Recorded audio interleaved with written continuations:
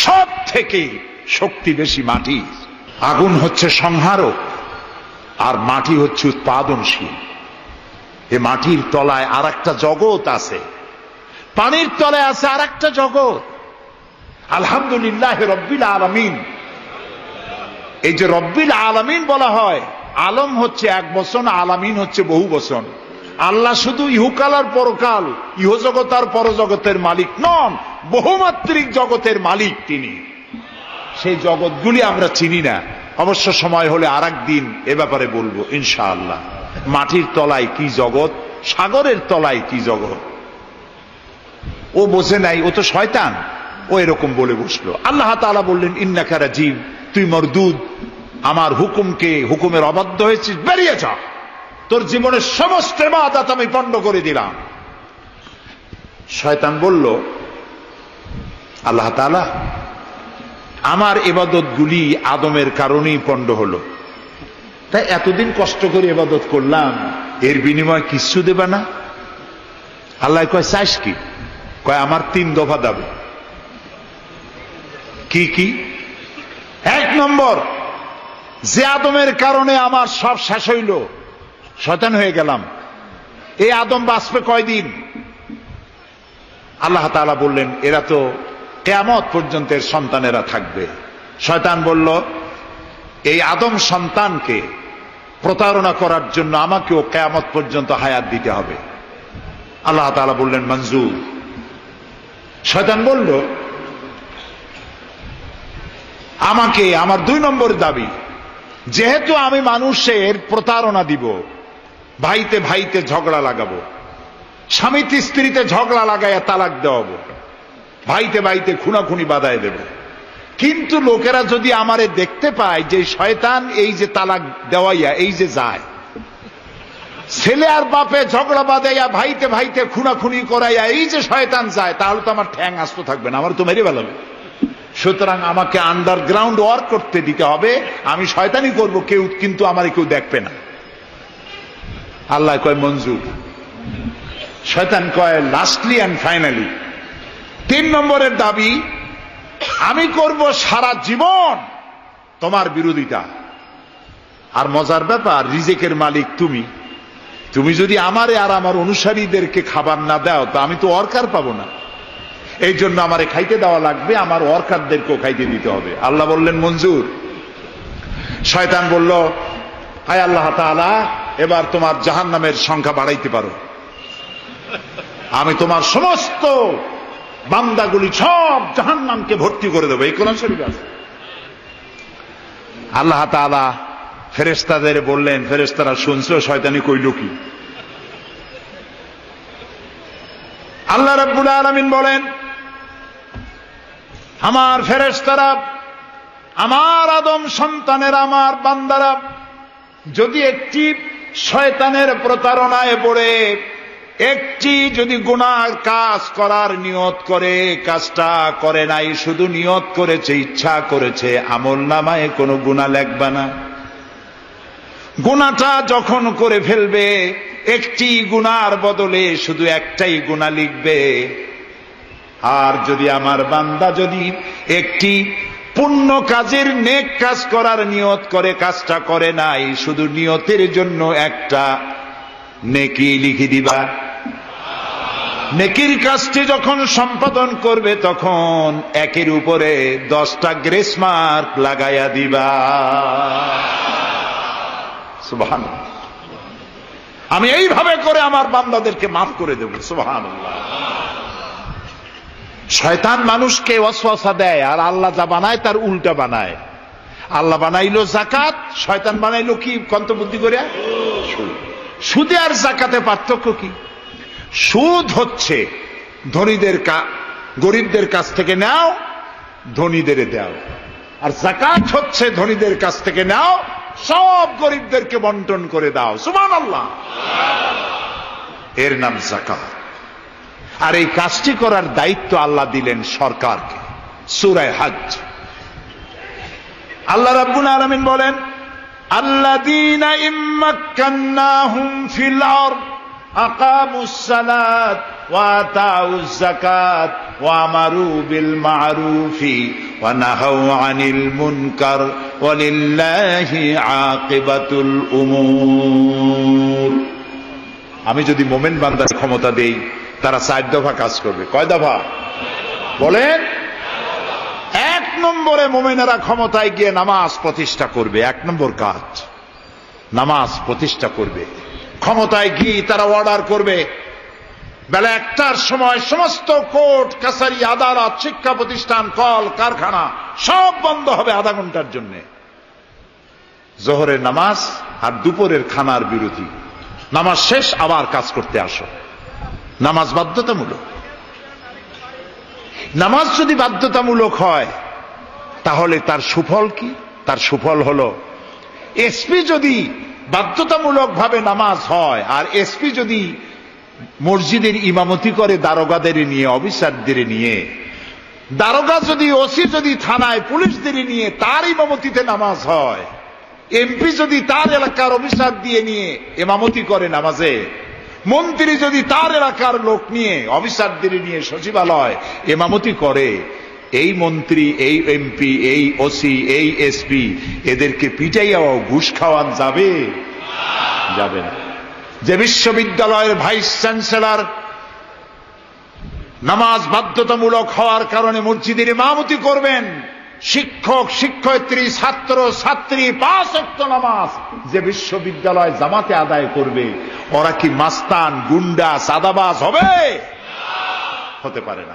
এই জন্য সরকারের প্রথম দায়িত্ব হবে। কে বলতেছেন? কার কথা শোনাইতেছি? প্রথম দায়িত্ব হচ্ছে নামাজ প্রতিষ্ঠা করো। দুই নম্বরে জাকাত আদায় করো। দুই নম্বরে কি? জাকাত আদায় করো। এই জাকাত গভর্নমেন্ট আদায় করবে। আল্লাহর কায়দাটা কি দেখেন? এর মধ্যে সিগনিফিকেন্স কি? গভর্নমেন্ট আদায় করবে কেন? আমরা দিলে হবে না কেন? আমরা দিলেও হবে যদি ইসলামী সরকার না থাকে।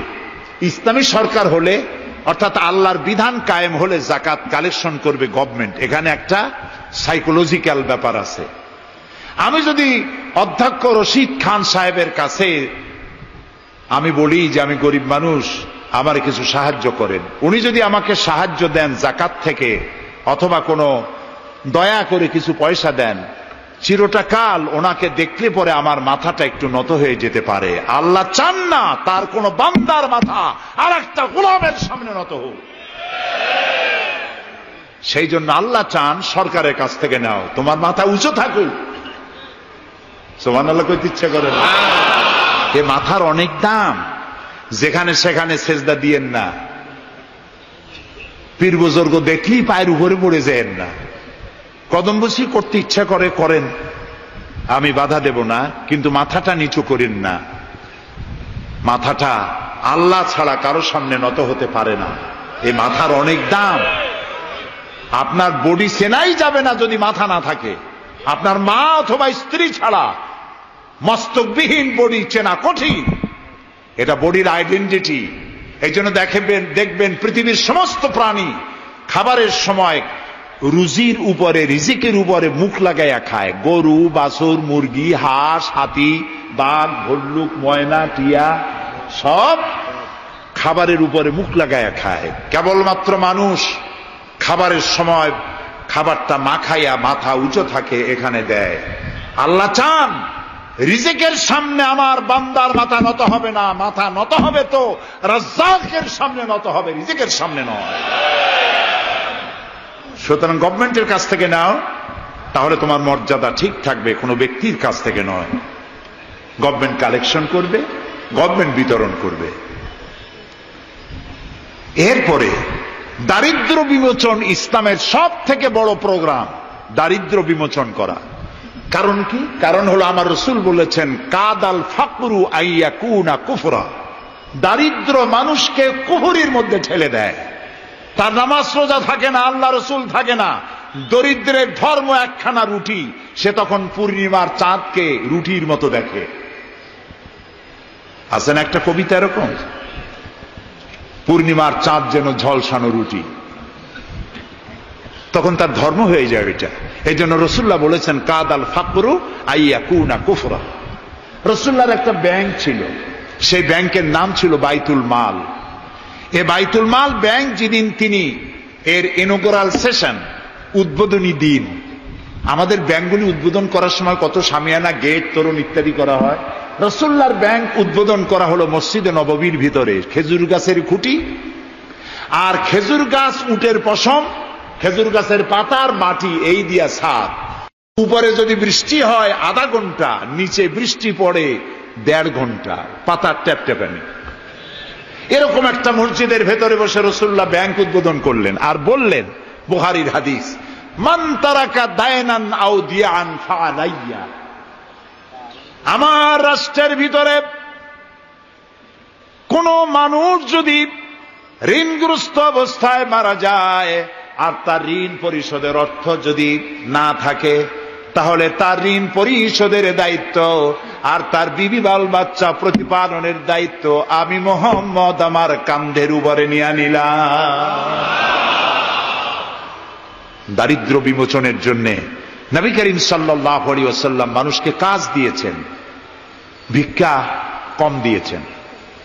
কেউ চাইলে রসুলের আদত মুবারক ছিল, কেউ কিছু চাইলে পকেটে হাত দিতেন, থাকলে দিতেন জীবনে একদিনের জন্য কাউকে না বলেন নাই।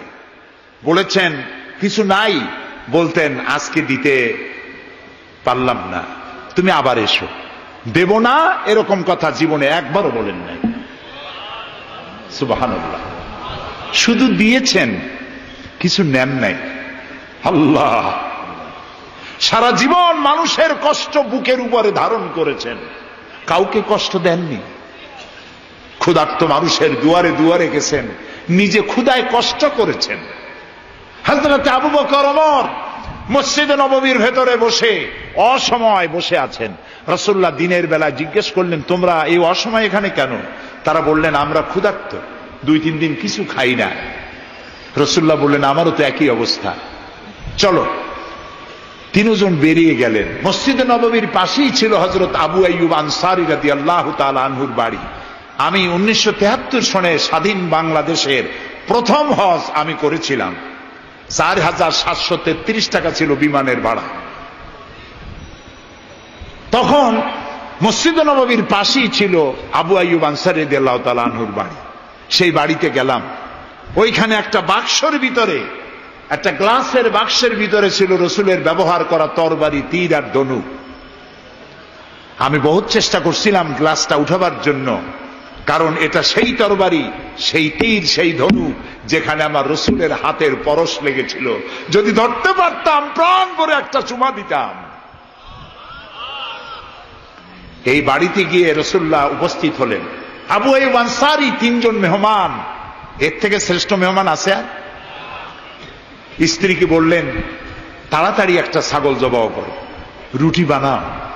তিনি চলে গেলেন বাগানে। বাগান থেকে কিছু খোরমা আনলেন। হাদিস শোনাচ্ছি, গল্প নয়। কিছু খোরমা এনে রসুলের সামনে রাখলেন। রসুল্লাহ বললেন, এর মধ্যে কাঁচা পাকা, আদা পাকা তিন পদের খাজুর। আমি কোনটা খাব? হাজরত আবু আইব বলেন তিন প্রকারের খেজুরে আপনি হাত দিবেন। কারণ আপনার হাত যে প্রকারের খেজুরের গায়ে লাগবে, আমার বাগানে আল্লাহ রব্বুল আলামিন সেই খেজুরে বরকত দিয়া দিবে কিছুক্ষণ পরে রান্না হয়ে গেল। রসুলের সামনে গোস্ত আসলো, রুটি আসলো। আল্লাহর নবী খাবারের শুরুতে দুই একটা রুটি আর দুই তিনটা গোস্ত টুকরা রুটি দিয়া পেঁচায়া হাজরাতে আবু আইয়ুব আনসারির হাতে দিয়া দিলেন। বললেন, আবু আইয়ুব, এই রুটি আর গোস্ত টুকরা নিয়ে যাও। আমার কলিজার টুকরা মা ফাতেমা গত তিন দিন হলো কিছু খায় নাই। দুনিয়ার মানুষের খাবার পৌঁছায়ছেন, নিজে না খেয়ে থেকেছেন। হজরত আয়সা বলেছেন, একদিন, দুই দিন না, মাসের পর মাস রসুল্লাহর স্ত্রীদের ঘরে চুলায় আগুন জ্বলে নাই। হাজরত উমরদি আল্লাহ তালহু রসুল্লার ঘরে প্রবেশ করেছেন। এখনও ঘরটা আছে, মসজিদে নববীর কোনায়, ছোট্ট ঘরটা বিশ্বনবীর ঘর। তিনি ঘরের মধ্যে প্রবেশ করে দেখেন রসুল্লাহ শুয়ে আছেন। তারপরে হজরত আবু বকার সালাম করলেন, রসুল্লাহ উঠে বসলেন। হজরতে ওমর রাজি আল্লাহ তালু বাচ্চা শিশুর মতো ডুকরে কেঁদে উঠলেন। নবীজি জিজ্ঞেস করলেন, ওমর, কাঁদো কেন? হজরত ওমর বলছেন, ইয়া রসুল আল্লাহ আমি বিশ্বনবীর ঘর দেখতেছি। ছোট্ট একটি ঘর। এক কোনায় পানি শূন্য সরাহি কাত হয়ে পড়ে আছে। এক পাশে একটা গ্লাস। আর আপনি যে বিছানায় শোয়া, চাদর নাই, বালিশ নাই, দড়ি দিয়া বুড়ানো খাটিয়ার উপরে শুয়েছিলেন, হাতের তলায়, মাথার তলায় হাত দিয়ে আপনার জান্নাতি শরীর মোবারকের পিঠের উপরে দড়ির দাগ। আমি সহ্য করতে পারছি না, ইয়া রাসূলুল্লাহ। কাফেরেরা পৃথিবীতে এত শান্তি করল। আল আল্লাহ রসুলের গায়ে দড়ির দাগ। আপনি আমাকে অনুমতি দেন, আমি একটা তোষক আপনাকে বানায় এনে দেই। রসুল্লাহ বললেন, ওমর, আমি যদি হুকুম করি, এই যে ওহদ পাহাড়টা আমার জন্য সোনায় পরিণত হয়ে যাবে। আমি পৃথিবীতে শান্তি করতে আসি নাই। এসেছি মানবতার মুক্তির জন্য, কল্যাণের জন্য। নবী করিম সাল্লাহ ওসাল্লাম এই জাকাতের বিধান কায়েম করলেন। মানুষের দুয়ারে দুয়ারে খাবার পৌঁছে গেল। বিরুদ্ধরা ভাতা পেল, বয়স্করা ভাতা পেল, বেকারেরা তাদের কাজের সংস্থান পেয়ে গেল। অবস্থা এমন হলো হজরত অমর ইবনে আব্দুল আজিজ রহমতুল্লাহ আলাইহের সময় জাকাত কে নেবে জাকাত কে নেবে, চিল্লানো হতো, ঢোল বাজানো হতো। একজন লোক পাওয়া যেত না যে জাকাত আমার দরকার। ইতিহাস লিখছে, ওই সময় একজন লোক তার সৎকার টাকা নিয়ে ঘুরতেছে যে জাকাত কাকে দিবে। তিন দিন হলো জাকাত নেওয়ার মতো একটা লোক পেল না। অবশেষে ক্লান্ত হয়ে মরুদ্যানের মধ্যে বসে আছে। কিছু সময় পর দেখল যে একটা লোক ধুলায় ধূসরিত চেহারা। তিনি এসেছেন, হাতে একটা বড় টোপলা। এই লোকটি বলল পথিক সালাম আলাইকুম। আমি তিন দিন ঘুরলাম এই দেশে। একটা মানুষ পেল না যাকে আমি সৎকার টাকা, জাকাতের টাকা দিতে পারি। আপনাকে মনে হচ্ছে গরিব মানুষ। জামা কাপড় ময়লা। আপনি আমার এই টাকাগুলি নিয়ে আমাকে উদ্ধার করুন। লোকটি বলছে, তোমার মাথা ঠিক আছে কিনা আমি জানি না। তুমি কি মনে করছ যে আমার এই বস্তার মধ্যে ছেঁড়া খাতা? তোমার ওই টোপলায় যত টাকা, ওর থেকে অনেক বেশি টাকা আমার এই বস্তার ভিতরে। আমি এক সপ্তাহ ঘুরতেছি, একটা গরিব মানুষ পাই নাই এই দেশে। এটি হলো জাকাতের কল্যাণময়তা, জাকাত ভিত্তিক অর্থ ব্যবস্থার কল্যাণময়তা। যারাই জাকাত দেয় না, অর্থকে সঞ্চিত করে, সোনা এবং রূপাকে সঞ্চয় করে, তাদের সম্পর্কে আল্লাহ কি বলছেন? والذين يكنزون الذهب والفضة ولا ينفقونها في سبيل الله فبشرهم بعذاب أليم যারা নাকি রৌপ্য এবং স্বর্ণ সঞ্চয় করে আমার রাস্তা খরচ করে না মানে গরিবদের দেয় না সঞ্চিত করে রাখে তাদের জন্য কঠিন পীড়াদায়ক শাস্তির সুসংবাদ দাও প্রশ্ন উঠতে পারে, শাস্তির কি সুসংবাদ হয়? শাস্তির কি হয়? আল্লাহ সুসংবাদ বললেন কেন? এটা বোঝাবার জন্য ছোট্ট একটি দৃষ্টান্ত যথেষ্ট। মা যদি ছেলেকে কন্ট্রোল করতে না পারে, দারুণ দুষ্ট। মা তখন বলে, দাঁড়া, তোর বাপ আসুক, আমি তারে নালিশ করব, এমন পিঠটি দেবে, তখন মজা টের পাবে। পিটাইলে কি মজা লাগে? তাহলে মজা বলল কেন? শাস্তির তীব্রতা বোঝাবার জন্য মজা শব্দ ব্যবহার করা হয়। এটা কোরআনে কারিমের বাগধারা। আল্লাহ তারা বলছেন, তীব্র শাস্তির সুসংবাদ দাও। স্বর্ণ আর রৌপ্য জমা করে রেখেছ, জাকাত দাওনি। বহু মহিলার অসংখ্য সোনার উপা আছে, জাকাত দেন না। কবে কালে ভদ্র একটা বিয়ে আসবে, সেই বিবাহে সজ্জিত হয়ে যাবেন। সারা বছরে জাকাত দিলেন না। এতগুলি সোনা আটকায় রাখলেন কেন? আল্লাহ চান না টাকা পয়সা পুঞ্জীভূত হয়ে থাকুক। কোরআন শুধু নামাজ রোজা নয়। দেখুন না আল্লাহ কি বলছেন। আল্লাহ বলছেন আল্লাহ বলছেন, তোমাদের কিছু সংখ্যক ধনীদের মধ্যে তোমাদের সম্পদগুলি পুঞ্জীভূত হয়ে যাক। এটা আমি চাই না। এটা জাকাত ফেতরা সাতকা এককালীন দানের মাধ্যমে গোটা জাতির মধ্যে পৌঁছে যাক। তাহলে মানুষের উপকার হবে। সুতরাং সাড়ে সাত তোলা নিচ পর্যন্ত জাকাত আপনার না দিলে চলবে। যখন সাড়ে সাত তোলা হবে, তখনই জাকাত শুরু হবে। যত বেশি হয়, গোড়া থেকে শুরু করে সবটা দিতে হবে। বাউন্ন তোলা রূপ- রূপা হলে জাকাত দিতে হবে। এই জাকাতের টাকা না দিয়ে যারা জমা করে রাখেন, শাস্তিটা কি হবে শোনেন? আল্লাহ শাস্তির ধরনও বলছেন। يوم يحمى عليها في نار جهنم فتكوى بها جباههم وجنوبهم وظهورهم هذا ما كنزتم لأنفسكم فذوقوا ما كنتم تكنزون এমন একদিন আসবে যখন এই স্বর্ণ আর রৌপ্যকে জাহান নামের আগুন দিয়ে জ্বালায়া সিল বানানো হবে আর এই সিলগুলি তোমার কপালে, তোমার পার্শ্ব দেশে তোমার পৃষ্ঠ দেশে সিল মারা হবে জাহান নামের আগুন দিয়ে। আর বলা হবে হা দামা কানাস্তুমলি আনফুসিকুম এই হলো তোমার সেই সব সঞ্চিত সম্পদ যা তুমি সঞ্চয় করে রেখেছিল আল্লাহর রাস্তায়, খরচ করো নাই। রসুলের কাছে প্রশ্ন হয়েছে ওয়াস আলু নাকা মাজা ইউনফিকুন? হে রসুল আপনাকে প্রশ্ন করা হয় যে কি খরচ করব? আল্লাহ তালা বলছেন কুলিল আফওয়া বলুন প্রয়োজনের অতিরিক্ত জিনিস আল্লাহ রাস্তায় খরচ করে দাও। আমরা প্রয়োজনের অতিরিক্তটা ব্যাংকে জমা রাখি। আল্লাহ বলেন খরচ করো। যত খরচ করবে আল্লাহ তত বাড়াই দিবেন। দেখেন না আল্লাহ বাড়ায় কেমনে? আল্লাহরে বিশ্বাস করেন যে আল্লাহ যে বাড়াইতে পারেন এটাকে বিশ্বাস করেন? এটি তো ইমানের প্রশ্ন। কেউ যদি জবাব দিতে ব্যর্থ হন তাহলে তো কুলক্ষণ। আল্লাহ কি সম্পদ? কমানো আর বাড়ানোর মালিক কে? রিবা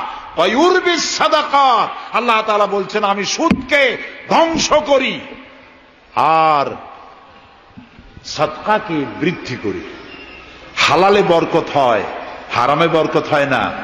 আজ গোটা পৃথিবীতে শুধু বাংলাদেশে নয়, গোটা বিশ্বে ওয়ার্ল্ড ব্যাংকের দৃষ্টিতে ইসলামী ব্যাংক পৃথিবীতে সব থেকে সফল ব্যাংক। তাও আলহামদুলিল্লাহ কব না। কেন? কারণ হালালে বরকত হয় হারামে বরকত হবে না। আচ্ছা কুত্তায় বাচ্চা দেয় কয়টা কম তো ওর তো ফ্যামিলি প্ল্যানিং নাই জনমের মতো হয়। এই কুত্তাগুলি যদি সব বাঁচত তাহলে বরিশাল দিয়ে হাঁটতে পারতেন? কুত্তার জ্বালায় হাঁটতেই পারতেন না। গরুতে গাবিতে বাছুর দেয় কয়টা বছরে? একটা। মাত্র একটি। আর মুসলমানেরা গরু যা জন্মের খাওয়া খায়। তারপরেও কুত্তা বেশি না গরু বেশি? এই কারণে যেহেতু গরু হালাল, তাই গরুতে বরকত। কুত্তা হারাম, তাই বরকত নাই। ইসলামী ব্যাংক শুধু ব্যাংকিং সেক্টরেই কাজ করে না, জাতির কল্যাণমূলক বহু সংখ্যক কাজ তারা করে থাকে। ইসলামী ব্যাংক হাসপাতাল, ইসলামী ব্যাংক, ব্যাংকের জন্য কলেজ, ইসলামী ব্যাংক দিয়ে যখন ডিজাস্টার হয়, দুর্ভিক্ষ হয়, যখন বন্যা হয়, জলোচ্ছ্বাস হয়, লক্ষ কোটি কোটি টাকা তারা দুহাতে বিতরণ করে। অফি হাক্কুল্লিসাইলি মাহরুম। আল্লাহ তারা বলছেন, তোমার সম্পদের ভিতরে গরিবদের অধিকার আছে। গরিব তোমার করুণার পাত্র নয়। জাকাত দিয়ে আসো তার বাড়ি যায়। তবে শাড়ি আর লুঙ্গি দেওয়া কোনো অর্থবহ কাজ নয়। কি দিবেন? রসুল্লার কাছ থেকে শিখুন। ওই যে একজন আসলো, ভিক্ষা চাইল। বলল, তোমার কি কিছু নাই? বলল, আছে। কি আছে কন্ত? মাশা আল্লাহ জানি সবাই, কিন্তু আমল করি না। দুনিয়ায় যত ভালো কথা সব বলা হয়ে গেছে, বাকি আছে শুধু পালন করা। রাসুল্লাহ তাকে বললেন কম্বলানো বিক্রি করে কিনলেন কি? কুড়াল। রসুল্লাহ তার নিজের পবিত্র হাত দিয়ে কুড়ালে হাতল লাগায় দিলেন। বললেন, যাও, জঙ্গলে কাঠ কাটো, বাজারে বিক্রি করো, ভিক্ষা কোনো দিন আর করবা না। এক বছর পর, হাদিস শুনুন, এক বছর পর ওই ভিক্ষুক এসে বলছেন, আসসালাম আলাইকা ইয়া রসুল আল্লাহ হুজুর, আপনি আমাকে চিনেছেন? আমি সেই ভিক্ষু, যে ভিক্ষা নিতে এসেছিলাম, আপনি আমাকে ভিক্ষা না দিয়ে কুড়াল দিছিলেন। কুড়াল দিয়া কাঠ কাটিয়া বাজারে বিক্রি করে আমার কাছে এখন জাকাত দেওয়ার মতো অর্থ জমা হয়ে গেছে। এটার নাম ইসলাম। শুধু নামাজ, রোজা, জিকির আজগারের জন্য শুধু নয়, নামাজ, রোজা, জিকির আজগার তো করব, কিন্তু আমার মানুষকে দারিদ্র বিমোচন করতে হবে। সুতরাং জাকাতের টাকা দিয়ে একটা শিক্ষিত বেকার যুবককে একটা কম্পিউটার কিনে দেন। একটা বিধবা মহিলাকে একটা সেলাই মেশিন কিনে দেন। তার সতীত্ব সে বাঁচাতে পারবে। ক্ষুদার জ্বালায় মানুষ যখন অসহনীয় পর্যায়ে চলে যায়, তখন সে দেহ ব্যবসার মতো নিকৃষ্ট পর্যায়েও চলে যায়। এজন্য ধনীরা দায়ী হবে আল্লাহর কাছে। কচু গাছ কাটতে কাটতেই মানুষ খুন করে। একটা এতিম বাচ্চা ক্ষুদার জ্বালায় ঘুরতেছে। ওই বাচ্চাটি, আপনি তাকে একটু আদর করেন। পরে আপনি একটা বাদামের বাক্স কিনে দেন, পঞ্চাশ টাকা, একশো টাকা দিয়া। কিছু বাদামের পুঁজি দেন। একটা পানের খিলি বানাইয়া বিক্রি করার পুজো দিয়ে পুঁজি দেন। কয়েকটা বুট পলিশের কালি আর ব্রাশ কিনে দেন। সে রাস্তায় বসে জুতা পালিশ করবে। ছেলেটি পকেট মারা থেকে চুরি করা থেকে বেঁচে যাবে সমাজ সংস্কার হবে সমাজ অপরাধ মুক্ত হবে সমাজ থেকে দারিদ্র বিমোচন হবে। আলহামদুলিল্লাহ বলে। আপনি কি জানেন এই যে গাছগুলি লাগালে পরে কত সব হয়? এবং দারিদ্র বিমোচনের জন্য গাছের কি বিশাল ভূমিকা? রসুল্লাহ বলেছেন হাদিস তোমার কাছে যদি এমন খবর আসে যে কেয়ামত হচ্ছে আর তখন যদি তোমার কাছে কোনো গাছের চারা থাকে, কেয়ামত হচ্ছে। গাছের চারাটি কেয়ামত আসার পূর্বেই গাছের চারাটি লাগিয়ে যাও। কেয়ামতের দিন সৎকায় চারিয়ার সব পেয়ে যাবে। একটি গাছ যদি কেউ লাগায়, ওই গাছে যত পাখি বসবে, ফল হবে, মানুষে খাবে, আশ্রয় নেবে মানুষেরা কেমত পর্যন্ত সৎকায় জারিয়ার সব মানুষ কবরে বসে বসে পেতে থাকবে। সব জায়গায় সব আর সব জানি না। খালি মনে করি ইল্লাল্লাহ ইল্লাল্লাহ বলতে পারলি সব আর খালি ইল্লাল্লাহ বলবেন বা কেন? যারা এই ধরনের জিকের করেন, আমার মনে দারুণ প্রশ্ন, জবাব খুঁজে পাই নাই। আল্লাহর কলেমাকে খণ্ডিত করে জিকের করার পারমিশন কোন হাদিস দিয়েছে? কে দিয়েছে এই পারমিশন? লাই লাহা ইল্লাল্লাহ। এটা হলো পূর্ণাঙ্গ কালেমা কমপ্লিট হচ্ছে মোহাম্মদ রসুল্লাহ ইল্লাল্লাহ। কতক্ষণ ইল্লাল্লাহ কতক্ষণ ইল্লাল্লাহ ইল্লাল্লাহ ইল্লাল্লাহ? এর অর্থ কি? আল্লাহ ছাড়া আল্লাহ ছাড়া আল্লাহ ছাড়া। আল্লাহ ছাড়া কি? কমন সেন্সের শুধু কমন বাদ দিয়া শুধু সেন্স যদি থাকে, কোন মুসলমানের এমন জিকির করা উচিত নয়। তবে common sense is very uncommon দুর্ভাগ্য জাতির প্রিয় ভাই সব, দারিদ্র বিমোচনের জন্য আল্লাহ তালা এসব ব্যবস্থা করে রেখেছেন। কাজ করে খাও, আয় থেকে দায় শোধ করো। আপনার পুকুর কেটে চতুর্দিকে পুকুরের কান্দায় পেঁপে গাছ লাগান, কলা গাছ লাগান। হাঁস পালেন, হাঁসগুলি পানিতে সাঁতার কাটবে, ভেতরে মাছ থাকবে, হাঁসের পায়খানা খেয়ে মাছ বড় হবে, হাঁস বড় হয়ে ডিম দেবে। ডিম বিক্রি করবেন, মুরগি বিক্রি করবেন, পেঁপে বিক্রি করবেন, কলা বিক্রি করবেন, মানুষের কাছে হাত পাতার চাইতে নিকৃষ্ট কাজ আর নয় রসুল্লাহ বলেছেন, আল্লাহর কাছে এই রকমের হাতের চাইতে এই রকমের হাতের মর্যাদা বেশি। এইটার নাম কি? সাওয়া। বলেন, এইটার নাম কি? এইটার নাম? আল্লাহর কাছে এইটার কোনো দাম নাই। কোনো দাম নাই। আল্লাহর কাছে দাম এইটা। এই জন্য যারা শ্রমিক, শ্রমিকদের সম্পর্কে আমার রসুল বলেছেন, আল কাসেব হাবিবুল্লাহ, যারা সহস্তে উপার্জন করে খায়, ওরা আল্লাহর বন্ধু। আপনারা শ্রমিক না, সেই জন্য সোবান আল্লাহ কইতে পারলেন না। আলহামদুলিল্লাহ বলে। রসুল্লার হাদিস শোনাচ্ছি, আমি গাজী কালু চম্পাবতীর পুঁথি শোনাচ্ছি না। আল কাসেব হাবিবুল্লাহ। যে ব্যক্তি সহস্তে উপার্জন করে খায়, সে আল্লাহর বন্ধু। এখন যদি কোন রিক্সাওয়ালা কুলি মজুর ঠেলাওয়ালা যদি মনে করে, আল্লাহর বন্ধু যখন হইছি, নামাজ রোজা দিয়ে আর করব কি? এটি কিন্তু ঠিক নয়। আল্লাহর বন্ধু হওয়ার জন্য নামাজ রোজা অত্যন্ত জরুরি। আর আপনি যে কষ্ট করে খাচ্ছেন, আপনার পয়সা হালাল। যে ব্যক্তি রিক্সা চালায় আড়াই মনে বস্তা মাথায় করে স্টিমারে উঠায়। ওর চাইতে হালাল পয়সা কারও নাই। মাথার ঘাম পায়ে ফেলে উপার্জন করছে। আপনি জানেন না যে দালানে যারা আছে খুব শান্তিতে নাই। বাইরের থেকে দেখে ভেতরের অবস্থাটা বোঝা যায় না। গুলশান, বনানী, আভিজাত্যপূর্ণ এলাকার বিশাল বিশাল বাড়ি দেখে আপনার চোখ ধাঁধা লেগে যেতে পারে, খুব শান্তির নিলয়। না, শান্তি নাই। বাড়ির মালিক, বহু টাকার মালিক, রাত্রির বেলায় ঘুম হয় না। কোন ফাঁক দিয়া জালনার পাশ দিয়ে গুলি এসে বুক ঝাঁচরা করে দেয়। ঘুম নাই। জনমের মতো অসুখ হইছে। প্রত্যেক দিন সোনার চাউল দিয়ে ভাত খাইতে পারে, কিন্তু ডাক্তার তার রুজি কন্ট্রোল করে দিয়েছে। পাঙ্গাসের পেটি, খাসির চর্বি, খাইতে পারবেন না। ভাত কম খাবেন সকালবেলায় ডিমের পুষ দুপুর বেলায় এক স্লাইস টুস, সন্ধ্যাবেলায় ফলের জুস। খাওয়া শেষ। কিন্তু তুমি মেয়া রিক্সাওয়ালা, ঠেলাওয়ালা, কুলি মজুর সারাদিন কাজ করে পোলার চাউল কিনতে পারো নাই, মোটা চাউল কিনেছ, খেসারির ডাল কিনেছ। এটু কিনে বাড়িতে বউ রান্না করেছে। আমি চোখে দেখা কথা বলি। আল্লাহ তালা এই বয়সে কম দেখান নাই। কমলাপুর রেল স্টেশনের বস্তি দেখেছি। অনেক বস্তি এলাকায় গিয়েছি। স্বামী বসে খাচ্ছে ঘরমাক্ত রিক্সা চালায় আসছে, আড়াই মনে বস্তা টানে আনছে। স্ত্রী খাবার তুলে দিচ্ছে, আরেকটু খাও, খুব কষ্ট করেছ, আরেকটু খাও। ওর ঘরে ফ্যান নাই, কাপড়ের আঁচল দিয়ে স্বামীর কপাল মুছে দিচ্ছে। আরেকটু খাও। এত কষ্ট করো তুমি। ওর ঘরে ফোমের বিছানা নাই। চটের মতো শক্ত বিছানা। বালিশ নাই, ইটের মতো শক্ত চাপ। কাপড়ের একটু কভার দেওয়া এরকম একটা বালিশের উপরে সারা দিনের শ্রান্তি আর ক্লান্তি নিয়ে আর ঘুমায় গেছে।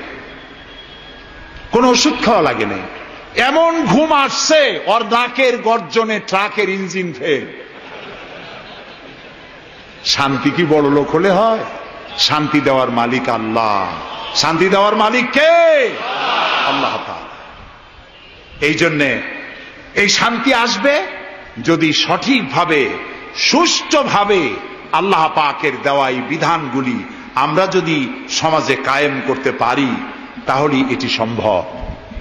আমার দেশে এখন যদি জাকাতের টাকা কালেকশন করা হয়, তাহলে আমরা একটা হিসাব করেছি। আমি একটা ব্যাংকের সাথে জড়িত আছি।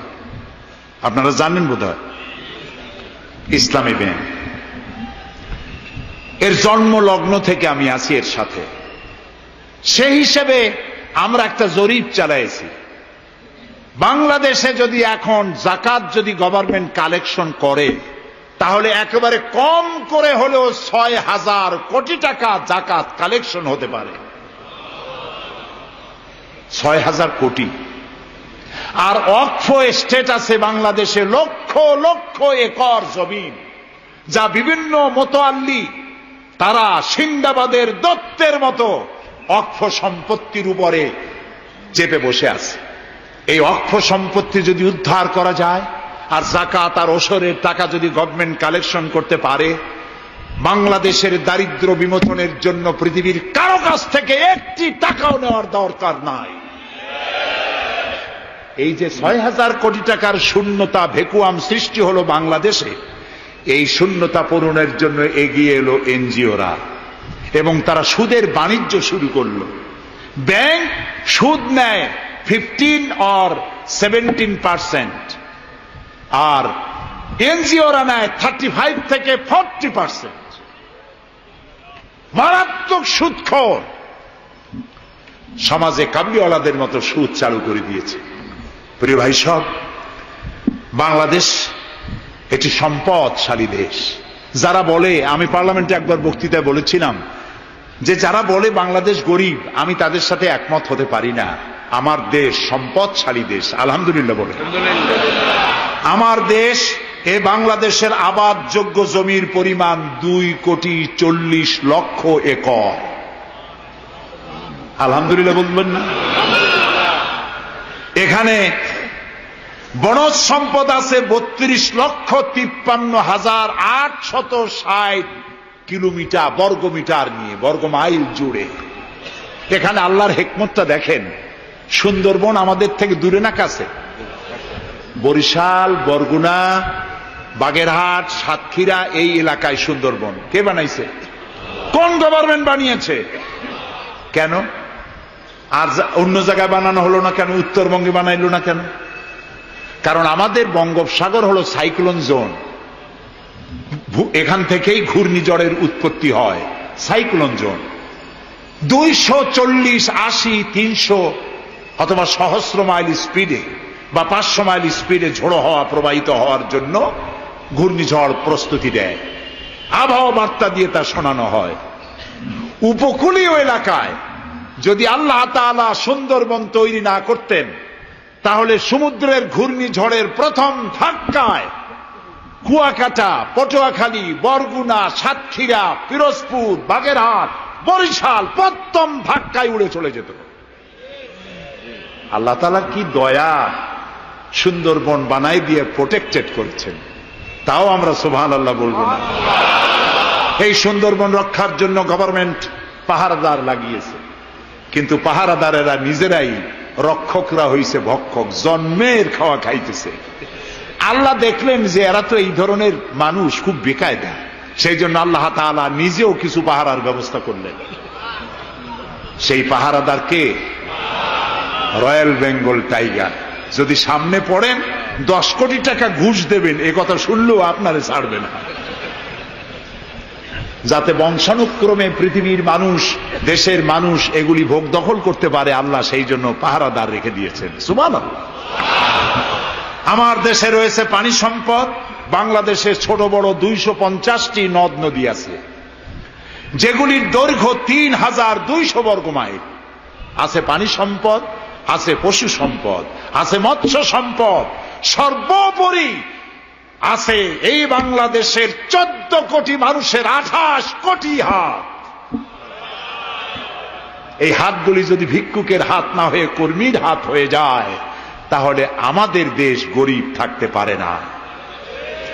আমার দেশের সম্পদের ভাব নাই, যথেষ্ট সম্পদ আছে, শুধুমাত্র ইকুয়াল ডিস্ট্রিবিউশন নাই, সৎ এবং যোগ্য নেতৃত্বের অভাবে এই চরম দুরবস্থার সৃষ্টি হয়েছে। আরও হয়েছে। রাজনৈতিক প্রতিহিংসার কারণে। তা না হলে আমরা পৃথিবীর মধ্যে দাঁড়ায় যেতাম। যুদ্ধ বিধ্বস্ত জাপান কোথার থেকে কোথায় গেল? উত্তর কোরিয়া আমেরিকাকে চ্যালেঞ্জ করছে।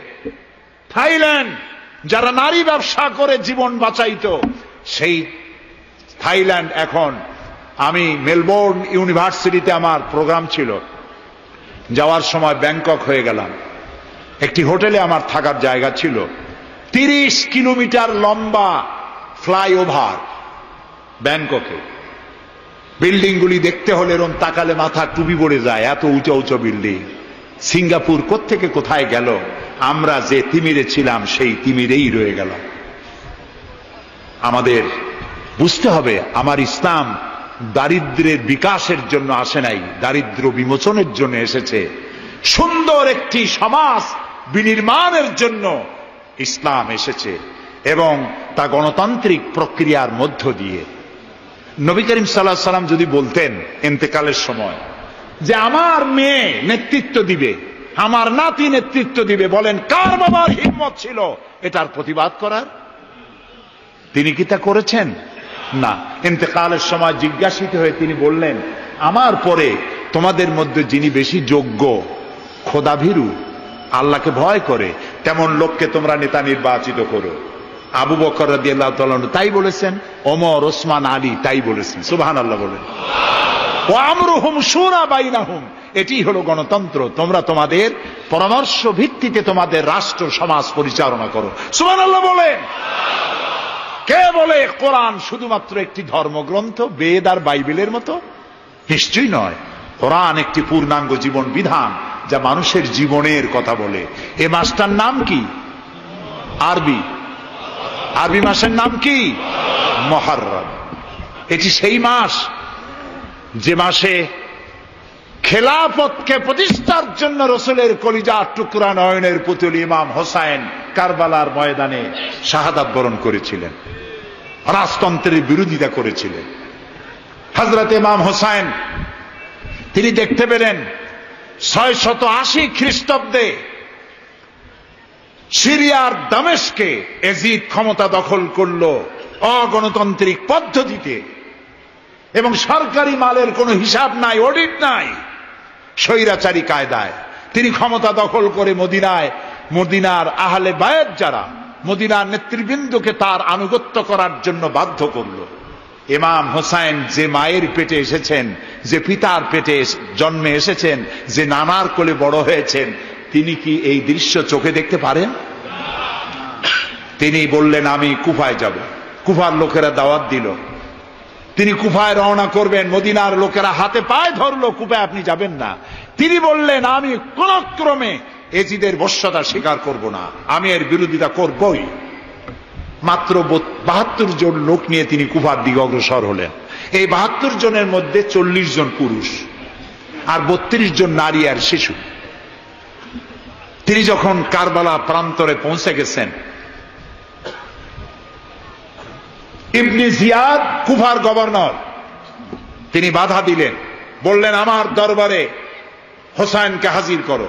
ইমাম হোসাইন বললেন, যে ব্যক্তি আল্লাহর আখেরাতকে অস্বীকার করেছে রসুলকে অস্বীকার করেছে, আমি তার সামনে জীবন থাকতে যাব না।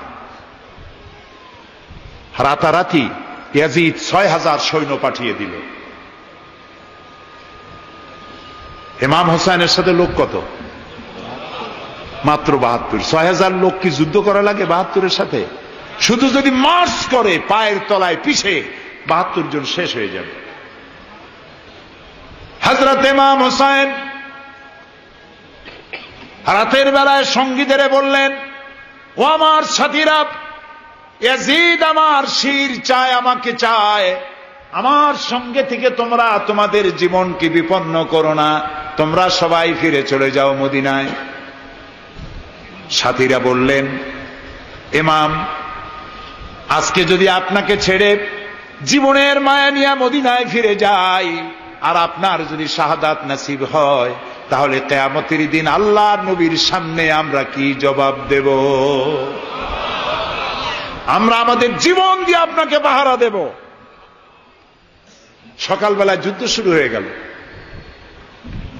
জহরের নামাজ আসতে না আসতে চল্লিশ জন পুরুষ শাহাদাত বরণ করলেন। এখন একজন পুরুষ বেঁচে আছেন এমাম হুসাইন। তাবুর ভিতরে স্ত্রী এবং অন্যান্য মহিলাদের কাছ থেকে বিদায় নিতে এসেছেন। তোমাদেরকে আল্লাহর হাওলা করলাম। আমি যুদ্ধে চলে যাচ্ছি। আমার চোখের সামনে আমার নানাজির দান্দার মোবারক শহীদ হওয়া ইসলাম, সাহাবিদের রক্ত দেওয়া, জীবন দেওয়া ইসলাম খেলাফত মিটে যাবে পৃথিবী থেকে, রাজতন্ত্র প্রতিষ্ঠা হবে। আমার জীবন থাকতে আমি তা হতে দেব না। স্ত্রী এগিয়ে এলেন। বললেন, হুসাইন যাহাদের ময়দানে থেকে আমি আপনাকে বিরত থাকতে বলব না। তবে একটি দাবি আছে।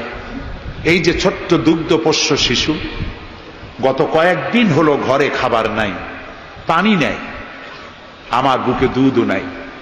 এই ছোট্ট বাচ্চাটিকে একটু পানির ব্যবস্থা করুন। ইমাম হোসাইন কলিজার টুকরা সন্তানকে দুই হাতে উঁচু করে এজিদি সৈন্যদের সামনে এসেছেন। এজিদি সৈন্যরা, আমার হাতের দিকে তাকাও। এটি রসুলের আওলাদ, আমার কলিজার টুকরা সন্তান। ফোরাতের অফুরন্ত পানি প্রবাহিত হচ্ছে।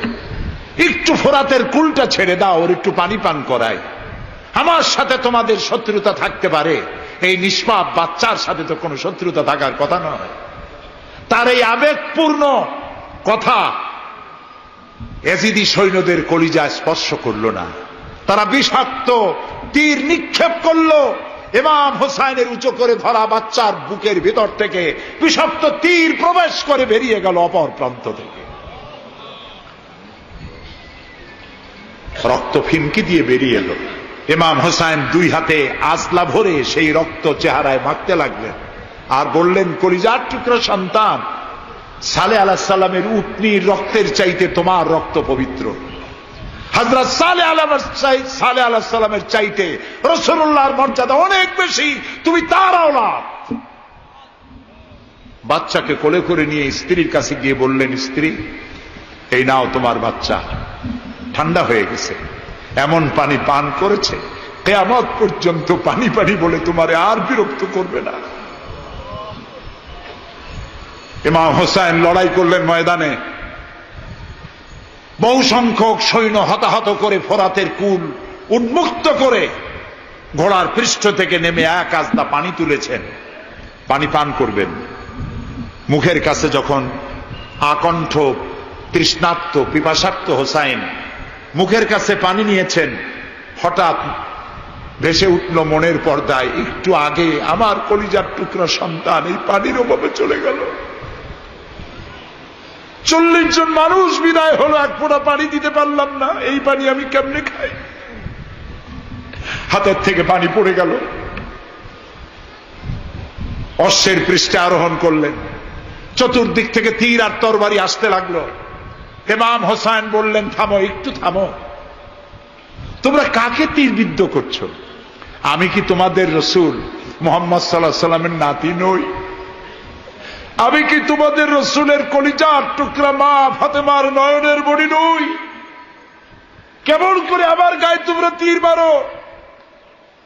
উম্মে সালমা, আমাদের মা, উম্মে সালমা রাজি আল্লাহ আনহা সকাল বেলায় এগারোই মহরম সকাল বেলায় তিনি ঘরে বসে কাঁদতেছেন।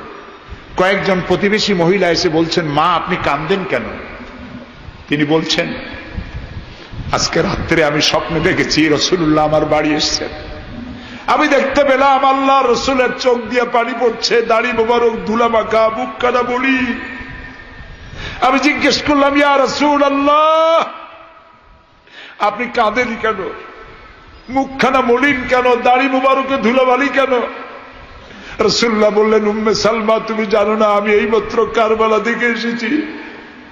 আমি দেখে এলাম আমার কলিজার টুকরা হুসাইনের শির মুবারক। তার দেহ থেকে বিচ্ছিন্ন করে ঘোড়ার পদদলি, ঘোড়া দিয়ে পদদলিত করা হয়েছে তার দেহ মুবারক। ইসলাম এত সহজে আসে না অনেক রক্ত পাড়ি দিয়ে এসেছে ইসলাম। হজরতে হোসাইনের মস্তক মুবারক। এজিদি সৈন্যরা একটা প্লেটে করে নিয়ে কুভার গভর্নর ইবনি জিয়াদের সামনে রেখেছে। ইবনি জিয়াদ চেয়ারে বসা, সিংহাসনে বসা। ইমাম হোসাইনের মস্ত মুবারক তার পায়ের কাছে রেখেছে। কলঙ্কিত ইতিহাস। কি করে আমি শুনাই আপনাদেরকে? ইবনি জিয়াদ চেয়ারে বসে পায়ের কাছে রাখা ইমাম হোসাইনের ঠোঁটের উপরে লাঠি দিয়া নাড়তেছে। হজরত জায়দ রদি আল্লাহ তালু আশি বছর বয়স। তিনি বলছেন এমনি জিয়াদ, এতক্ষণ যা করেছ, মুখ বুঝে সহ্য করেছি। কিন্তু এখন যেটা তুমি করতেছ, পায়ের কাছে কার বাতা তুমি যে ঠোঁটের উপরে লাঠি দিয়া নাড়তেছ, আমি জায়েদ, আমি দেখেছি রসুল্লাহ হাজার বার এই মুখের উপরে চুমা খেয়েছেন।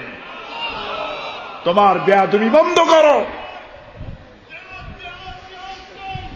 প্রিয় ভাই সব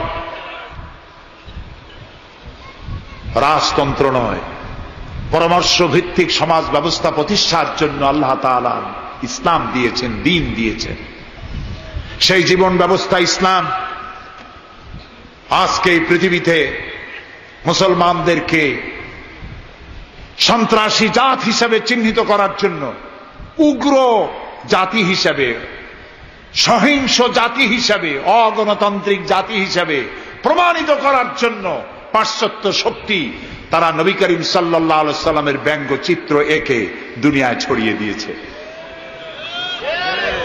আজকে জুমার খুদ্বায় আমি কসাই মসজিদে বলেছিলাম রসুল্লার মাথার উপরে বোমা আকৃতির পাগড়ি বেঁধেছে, পাশে দুইটা অর্ধনগ্ন মেয়ে লোক রেখেছে নাউজবিল্লা তোদের মতো অসভ্য আছে পৃথিবীতে? ডেনমার্ক, আমেরিকা, ইউরোপ তোমরাও কি মানুষের মতো কাজ করেছ? বিশ্ব নবী পৃথিবীতে সব দিয়েছেন, কিছু নেন নাই। তাকে অপমান করার অর্থ হচ্ছে মানব সভ্যতাকে অপমান করা। রাসুলকে অপমান করার ক্ষমতা কারও নাই। তার সম্মান তার সম্মান পাহাড় সমান নয়, তার সম্মান আকাশ সমান নয়, রসুলের সম্মান আল্লাহর আরস পর্যন্ত। আল্লাহ তার আরশে আজিমে কাউকে দাওয়াত দেন নাই, বিশ্ব নবীকে দাওয়াত দিয়েছিলেন। আমি আমার বরিশালবাসীদের বলব, মুসলমানদেরকে ধৈর্য ধারণ করতে হবে, আরও সংযমী হতে হবে। ইসলাম সর্বশ্রেষ্ঠ জীবন ব্যবস্থা। এই কল্যাণময় জীবন ব্যবস্থা প্রতিষ্ঠার জন্য এগিয়ে আসতে হবে মুসলমানদেরকে সকলকে, হিন্দুদেরকেও। হিন্দু, বৌদ্ধ, খ্রিস্টানদের বলি, আমার প্রিয় ভাইয়েরা আপনাদের মধ্যে, আমাদের মধ্যে পার্থক্য খুবই কম। হিন্দুরা বলেন, এক ব্রহ্মা, দ্বিতীয় নাস্তি। আমরা বলি, লা ইলাহা ইল্লাল্লাহ। কথা প্রায় কাছাকাছি। আপনারা পুনর পুনর জন্মে বিশ্বাসী, আমরা পুনরুত্থানে বিশ্বাসী। এই কোরআন শুধু মুসলমানদের জন্য নয়, আপনার ইসলাম কবুল করা লাগবে না। আমি ইউরোপ, আমেরিকা, অস্ট্রেলিয়া, আফ্রিকায় যখন অমুসলিমদের মধ্যে বক্তৃতা করি, তখন বলি, আপনাদের মুসলমান হওয়া লাগবে না। যে ধর্মে আছে, সে ধর্মে থেকেই যদি কোরআন বর্ণিত আইন যদি মানেন, আপনি শান্তি পাবেন দুনিয়ায়, শান্তি পাবেন আ খেরাতে পরকালেও শান্তি পাবেন কিনা আল্লাহ ভালো জানেন, তবে দুনিয়ার শান্তি তো পাবেনি কোরআনের আইন সকলের জন্য প্রযোজ্য। ইসলামের ব্যাখ্যা দিচ্ছিলাম ইন্নাদ্দিন আইন্দাল্লাহিল ইসলাম। ইসলামের চাইতে কল্যাণময় জীবন ব্যবস্থা পৃথিবীতে আর নাই।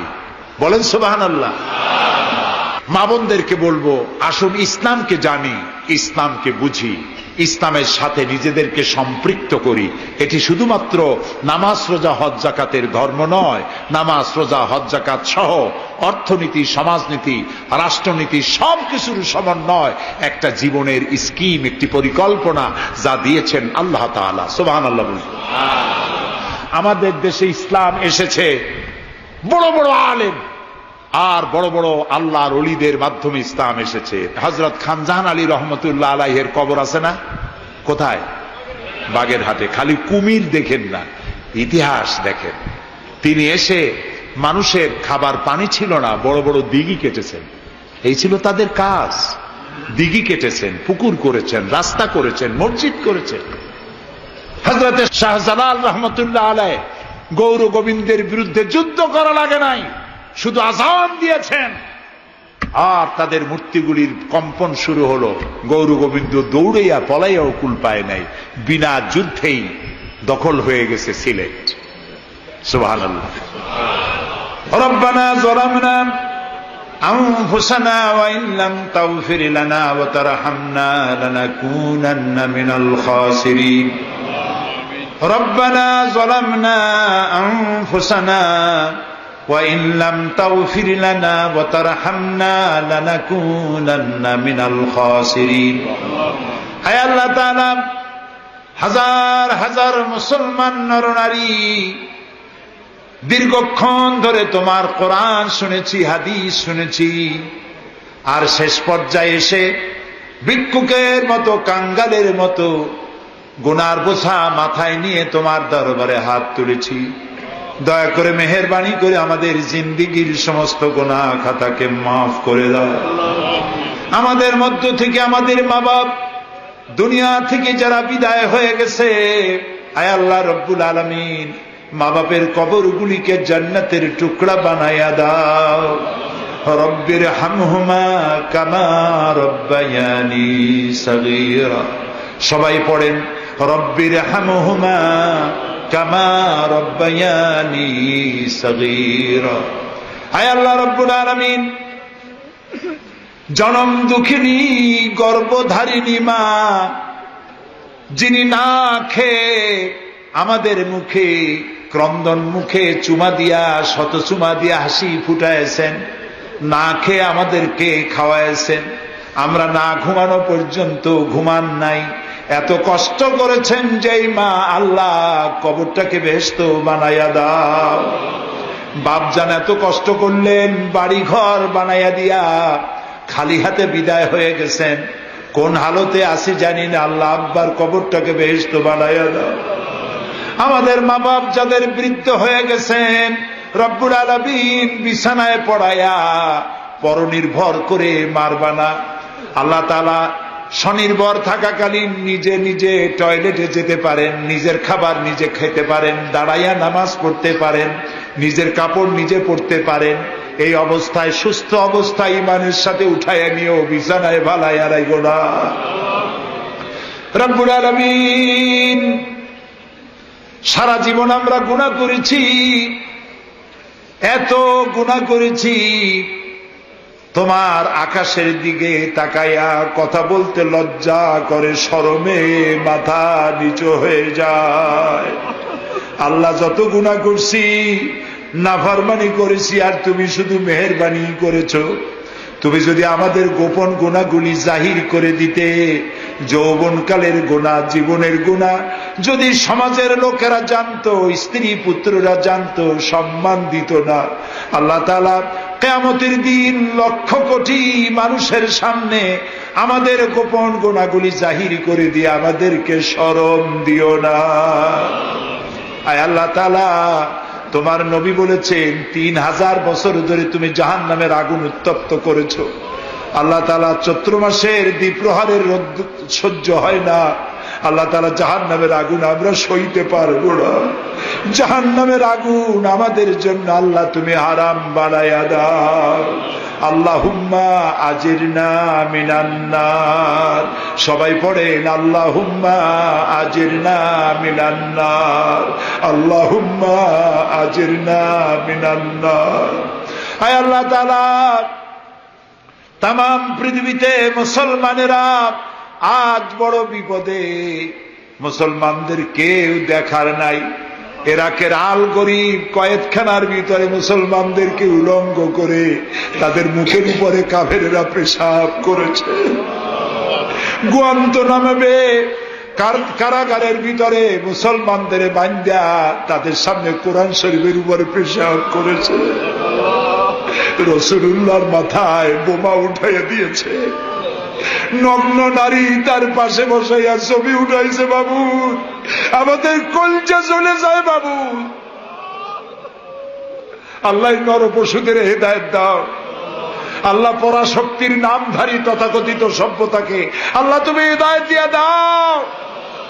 ওদের নসিবে যদি হেদায়ত না থাকে, তুমি তো আমাদের সেই আল্লাহ যে আল্লাহ নমরুদকে জুতা পেটা করে বিদায় করেছ। তুমি তো সেই আল্লাহ যে ফেরাউনকে চুবাইয়া মারছ। আল্লাহ এই সভ্যতার দাবিদার গুলি যারা আমার রসুলকে অপমান করতেছে, মুসলমানদেরকে অপমান করছে, কোরআনকে অপমান করছে, ফেরাউনের মতো নবরিদের মতো, জুতা মেরে ডুবাইয়া, ধ্বংস করে গচব দিয়া বিদায় করে দাও আল্লাহ, আমাদের এই শান্তিপূর্ণ দেশে যারা বোমা মারে, সন্ত্রাসী হামলা করে। ওদেরকে আমরা চিনি না, তুমি ভালো করে জানো ওরা কারা। আল্লাহ ওদেরকে হেদায়ত করো। ওদেরকে তুমি ধরাইয়া দাও। ওদেরকে কারা টাকা দেয়, কারা বুদ্ধি দেয়, কারা পরিচালিত করে, তাদের চেহারা জনগণের সামনে উন্মোচিত করে দাও। তাদেরকে জনগণের সামনে ন্যাংটা করে দাও আল্লাহ আমাদের এই সুন্দর দেশটির উপরে তুমি রহমত করো। আল্লাহ তোমাকে বলব না কাকে বলব? পৃথিবীতে যত মুসলমান দেশ তুমি দিয়েছ, প্রত্যেক মুসলমান দেশের পাশে আরও দুই চারটা মুসলমান দেশ আছে। তুমি আমাদের দিকে তাকায় দেখো তো আমাদের অবস্থাটা কি? আমরা কোথায় যাব? আমাদের তো পালাবারও জায়গা নাই। একদিকে সমুদ্র আর তিন দিকে কারা? আল্লাহ তুমি এই বাংলাদেশটাকে দয়া করে হেফাজত করো। কারও তাবেদার বানাইও না। কোন পদসেবী, পদলেহীদের গোলাম বানাইও না। আল্লাহ দেশের মুসলমানদের মাথায় টুপি রাখা, মুখে দাড়ি রাখার পথে বিঘ্ন ঘটায়ও না। মাদ্রাসাগুলি বন্ধ করে দিয়ে, আমাদের দম বন্ধ করে দিও না। আল্লাহ তালা এমন শক্তি ক্ষমতা এলো না, যারা ইসলামকে অপমান করবে, আলেমদেরকে অমর্যাদা করবে, এমন লোকদেরকে কেমন পর্যন্ত ক্ষমতা দিও না।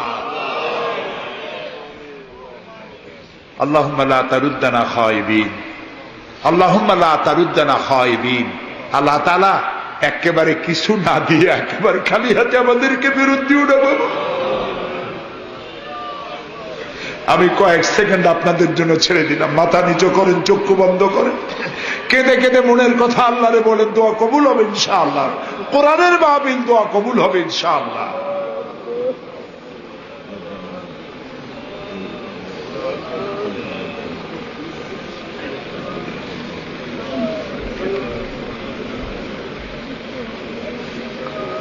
আয় আল্লাহ, তুমি নিশ্চয়ই শুনতে পাচ্ছ আমরা কি বলছি।